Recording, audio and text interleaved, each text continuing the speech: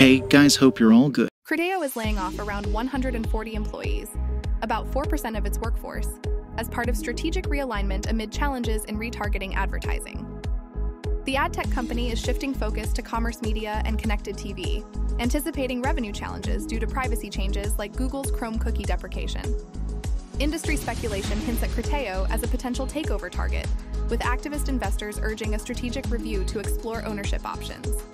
Despite recent layoffs and revenue challenges, Criteo returned to profit in its latest quarter and plans to balance cost efficiencies with investments in growth areas. If you found this information informative, please hit the subscribe button to get more updates for the startup world.